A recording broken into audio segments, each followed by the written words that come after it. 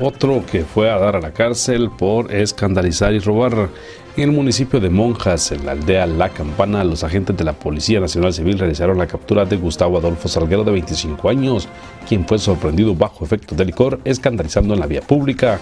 Al momento en el cual los agentes captores realizaban el procedimiento, se abocó a ellos el señor Sebastián López Mateo, de 19 años, manifestando que él se conducía a bordo de, la, de su bicicleta vendiendo granizadas y el hoy detenido bajo amenazas lo despojó de la cantidad de 300 quetzales. Por tal motivo, los agentes de la Policía Nacional Civil lo pusieron a disposición del juzgado correspondiente para que pueda solventar su situación legal. Para los T21, los Chapines y el mundo, notijalapa.net.